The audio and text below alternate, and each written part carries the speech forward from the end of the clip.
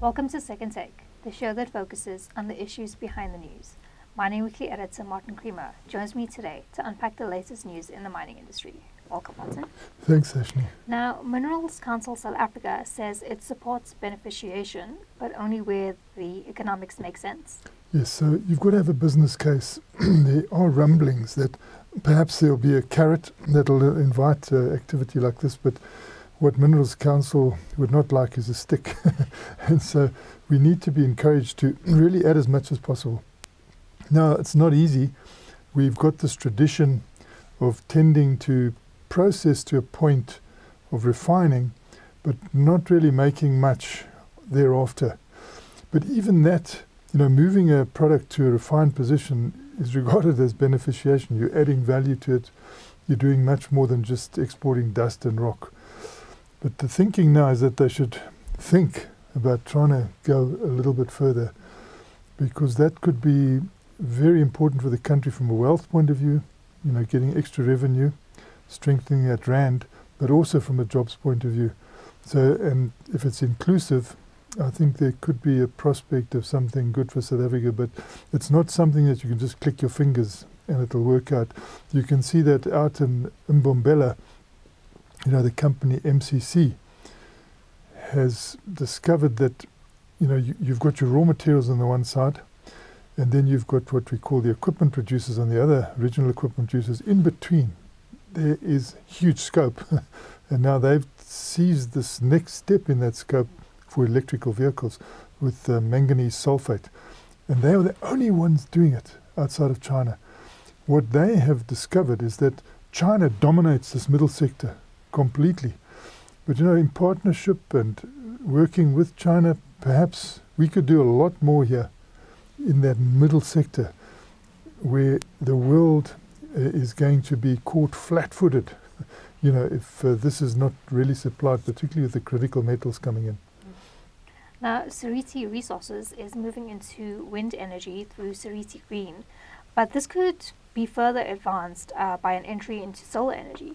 Know, this is incredible. This is a, a company which is, is controlled by black shareholders, fully controlled to 90%. It is a company that entered the coal market very, very strongly you know, taking over assets from big corporates, also exporting coal, but supplying a lot of domestic coal. And then taking a next step saying, we want to not just be a coal company, we want to be an energy company. Now, that is the route to take. I think all the participants in coal, and we see Exxaro is doing the same thing, you need to say we're an energy company because there's so much scope as you transition into the new energy era to enter the wind energy, which Seriti has already done, you know, with these very high masts coming up in Mpumalanga. And, and what they've discovered is that, you know, you've got to use artificial intelligence to find out where that wind is.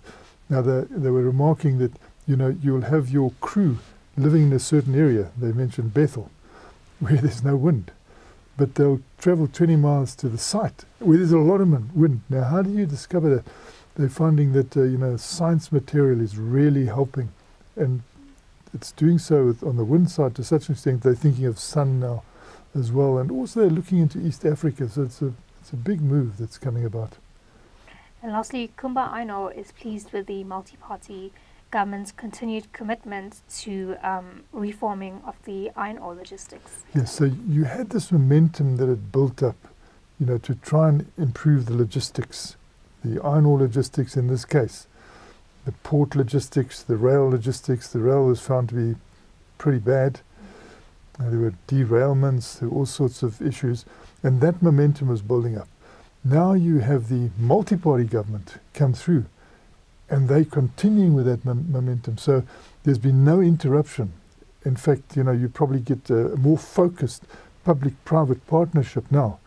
And Kumba Ore hailed this. You know, they said this is uh, something that will help us. We'll, we, we, there's a capacity there in the Northern Cape to export more.